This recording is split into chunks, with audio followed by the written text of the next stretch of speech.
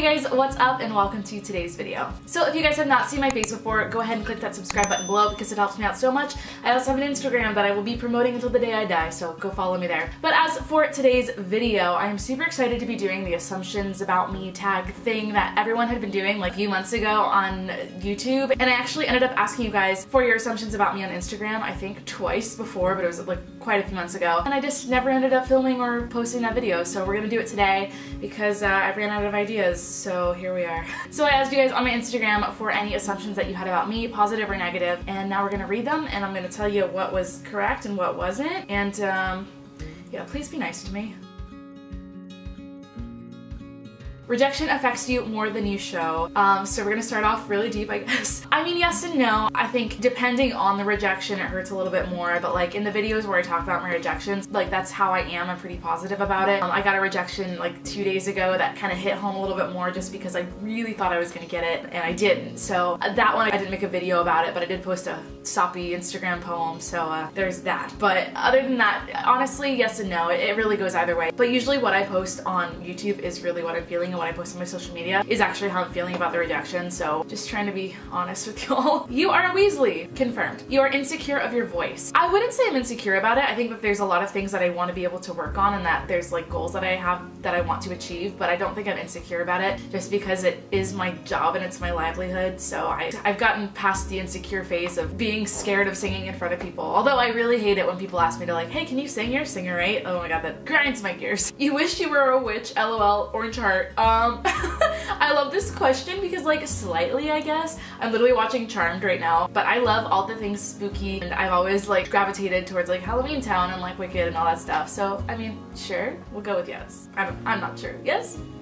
you weren't always a morning person slash had to force yourself to become one. I think that's true. I wasn't always a morning person, but now I really think that I am. Uh, but I think I'm honestly an everything person. Like I, I love the mornings, but I also love staying up late. But I think just being in college and having the jobs that I do, I have to get up early. So I've just kind of become a morning person and coffee helps too. you are a very relatable person and very outgoing, especially when it comes to following your dreams. That's so sweet. I would like to hope so. Thank you. That's really sweet. I think so. I mean, I'm very, I think I'm outgoing depending on the situation. I'm like outgoing and not outgoing in the same way, so is that an answer? I think so. You are a friend to the world and always find the good in people.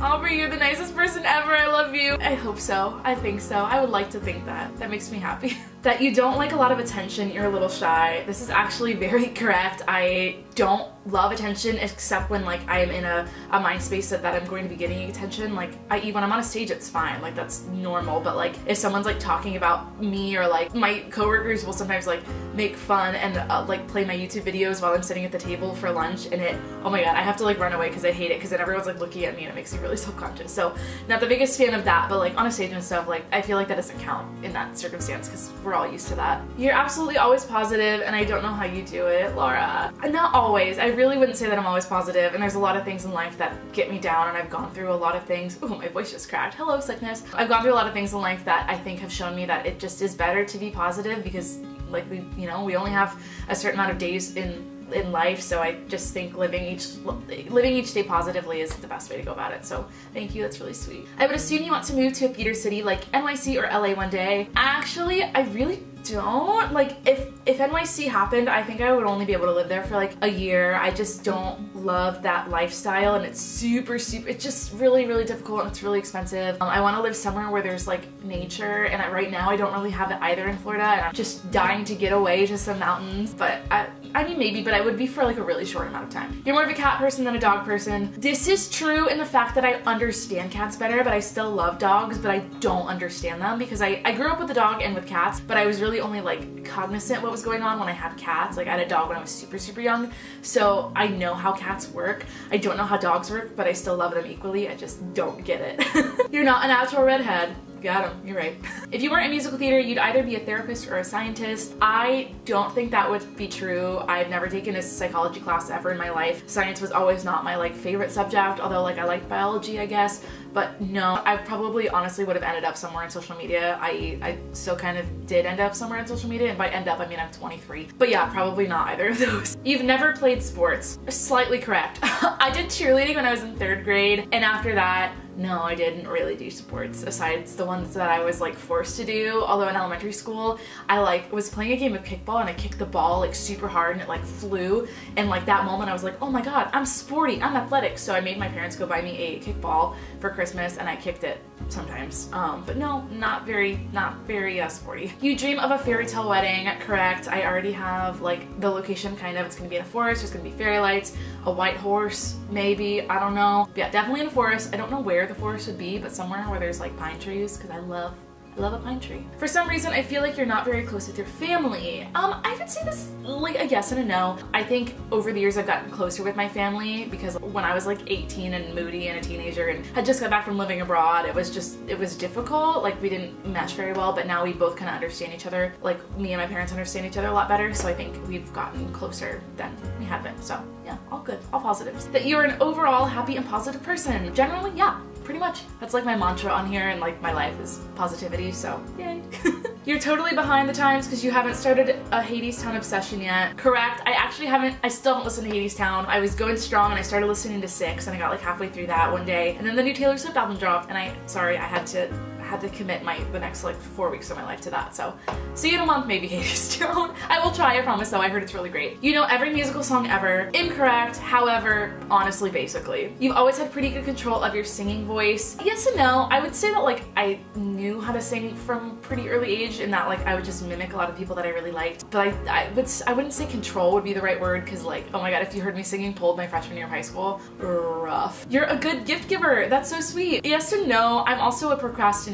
So like I want to get a good gift for someone and if I can find it, I'm super excited about it. But I also wait till the last minute to get gifts, which is definitely a fatal flaw of mine. You want to be on Broadway as a lead. I mean, yeah, who doesn't want that? But like that's not like my overall goal in life, but I mean if someone's like, here, go play this lead role in Broadway, I mean, I guess. You don't like surprises. Very true. I hate surprises. I'm someone who like thinks about the worst possible scenario. So if someone's like, hey, I need to tell you something, but they don't tell me what it is right then, I get such bad anxiety. So I'm not a huge surprise person if I know there's a surprise coming, but I don't hate it if someone's like, oh my god, I got you a puppy, but I had no idea that they were gonna get me something in general. So yes and no, I guess. You're not looking to be in a relationship right now. And that question was asked quite a few times of like, oh, you're too busy to be in a relationship. And that's like super true. That's super true I think I like got to this point where I was on my dating apps and stuff and I'm like, oh, I just can't find anybody. And then I realized, wait, I really don't want to right now. I think if it comes out organically and if I have like a meet cute with somebody and it like all works out and everything's like, oh my god, magical, yeah, why not? Sure, okay. But I'm not super looking right now because I literally just so busy. At the moment, I'm like really happy being single. Every adult is either a laundry person or a dishes person, and I think you're a dishes person.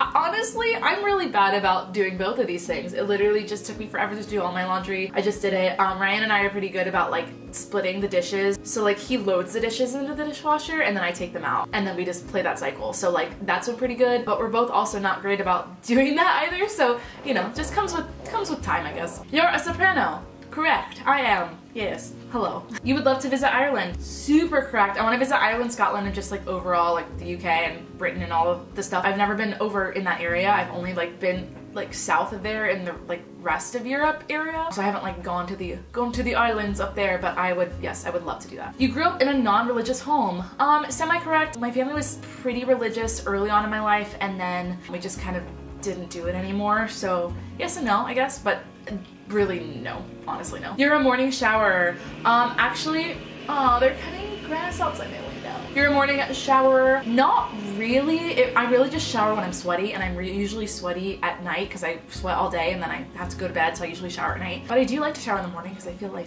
like nice and refreshed. If You're a closeted introvert. I would say that's pretty true but I definitely think I, I go on both sides. But I think I'm a little bit of both like introvert and extrovert. I think of both. Can that, that's a thing, right? I think that's a thing, but that's what I am. You're a Hufflepuff in terms of Hogwarts houses. Actually, no, I'm not. Um, I identify as a Griffin Gryffindor, hello? No. I identify as a Ravenclaw, but I think I definitely have Gryffindor and Hufflepuff tendencies. As for Slytherin, I think I've only gotten that result once on one of my tests, and it was super like astounded that that had come up because I don't think I'm anything like a Slytherin. Not that I don't like Slytherins, I just don't think, don't think I'm one of them yet. You like horror movies. Actually, I don't know if I do or not. I got like really scared as a child watching like scary movies, so I never really would watch them like later on. Like I was definitely a Halloweentown kind of person and not a um, like Saw type of person, but I think I would like them now because I realized I don't really get jump scared at things. The parts of the movies that like I wouldn't like when I was younger are like the creepy music leading up to like this thing that's gonna pop out at you. But I don't really get jump scared anymore, so I think I would like them now. I should give it a shot, but I still like Halloweentown, so.